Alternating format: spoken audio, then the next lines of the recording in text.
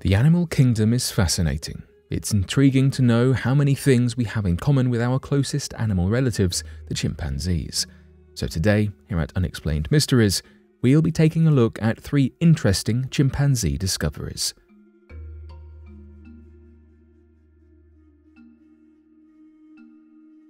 Killing comes naturally to chimps. It seems not only do chimps share characteristics with humans, but the darker sides of life as well.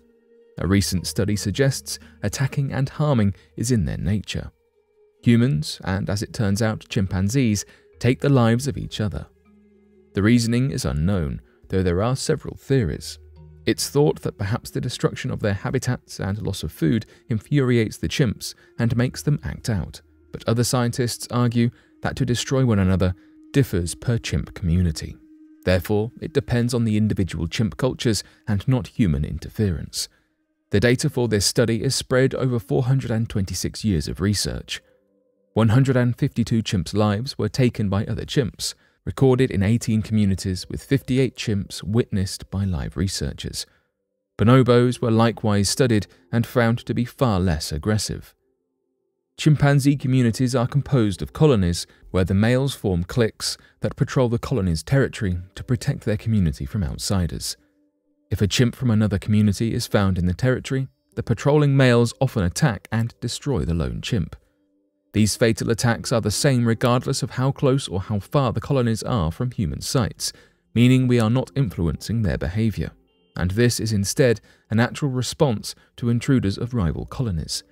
It's believed competition between males is the primary reasoning behind chimpanzees taking out each other as fewer males mean the surviving ones have better food and more territory.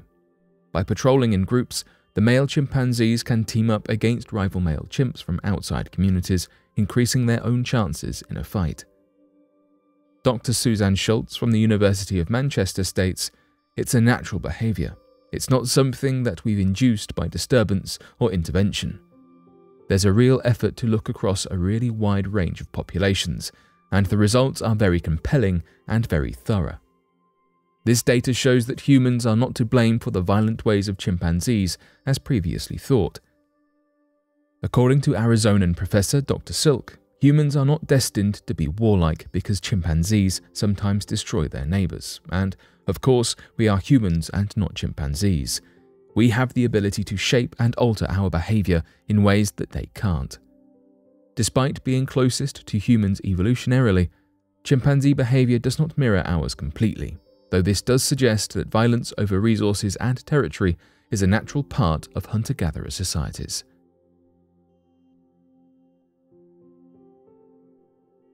Huge chimpanzee population thriving in remote Congo forest. The Congo forest is known as one of the most treacherous places on Earth. Despite the dangers lurking in this colossal forest, the local chimpanzee populace is seemingly flourishing with life. The Congo forests border the Central African Republic. Legends of old claimed the existence of colossal apes that howled at the full moon and devoured lions and predators, but these were believed to be merely myths. After a team of researchers wandered through the forest's unlisted lands, they discovered what is thought to be a chimp megaculture, possibly the last of its kind, with a huge population of chimps. German primatologist Cleve Hicks states, This is one of the few places left on Earth with a huge continuous population of chimps. We estimate many thousands of individuals, perhaps tens of thousands. This would make the chimp populace the largest in Africa.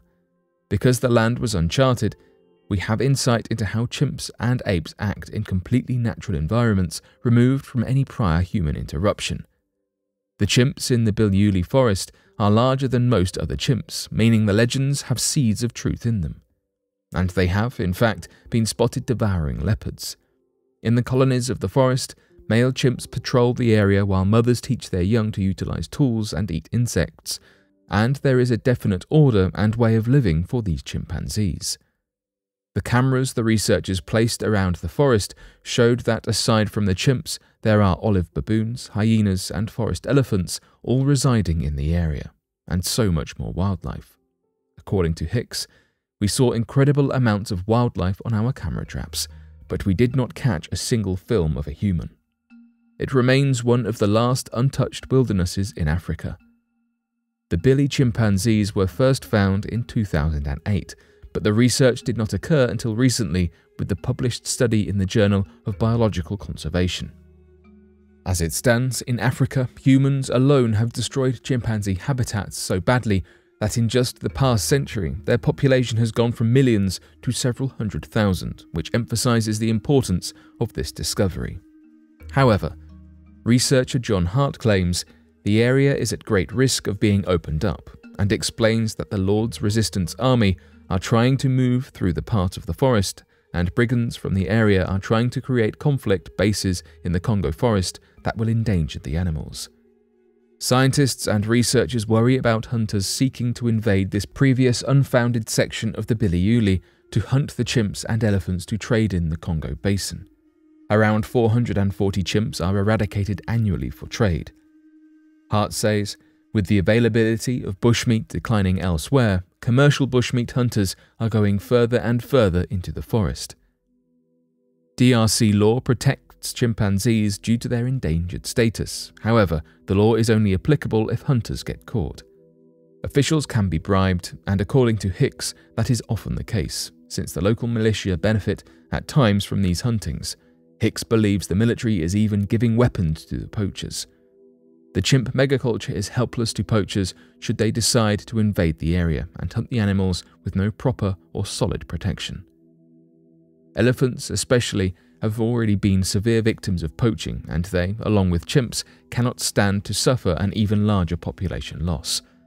Hart desires for there to be a unit of wildlife guards who circle the forest and protect the animals inside in order to stop the hunters. According to Hart, it is a very significant opportunity to preserve a whole ecosystem of chimpanzees. Elsewhere on this continent, this opportunity just does not exist. First known wild chimpanzee with albinism was killed by other chimps. Investigators of chimpanzees in Africa have found an extremely rare case of albinism in a wild colony of chimpanzees in Uganda. This discovery is phenomenal, apart from the tragic fact that the young albino male chimp was brutally perished by its own colony only several weeks after its birth. According to researchers, this shows us insight into how chimpanzees in the wild behave in unusual natural circumstances. The Sonso chimpanzee colony resides in the Budongo Forest Reserve in Uganda. The albino newborn was found on July 15, 2018, when it was with its mother from the first sighting of the tiny chimp, the researchers observed an adult male being violent towards it. Two days later, they heard chimp screams from the forest. These screams came from the chimp alpha as he and a group of other grown chimps attacked and took the life of the infant and other surrounding chimpanzees. Afterwards, the chimpanzee attackers left the corpse behind, thus allowing researchers to eventually take it and run it through post mortem analysis. The chimp had snow white fur and lacked any pigment in its eyes or skin, and was estimated to be three weeks of age.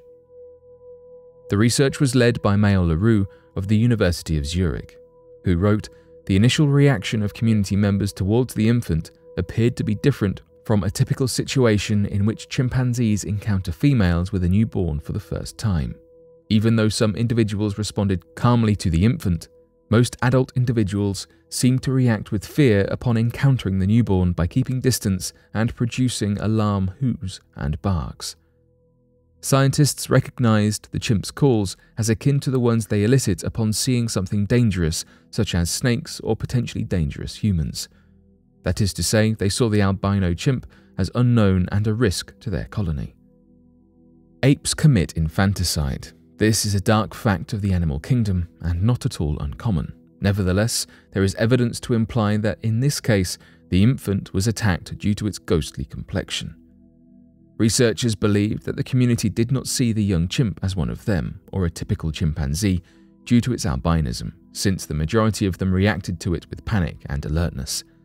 The vigilant and even fearful behavior, including alarm calling by individuals upon the initial exposure to the infant, seems to support this idea, state the researchers. Despite the abandonment of the body, chimpanzees of all ages did return to examine the deceased infant after its demise, something that is not normal behavior for chimps after committing infanticide. This solidifies the theory they saw the albino chimp as something else and were inspecting it to investigate. Besides this chimp, only one other case of an albino chimp was ever noted. The other albino chimp, however, was captured and raised in captivity instead of in the wild. Thus, researchers were not sure how wild chimpanzees would have reacted to it.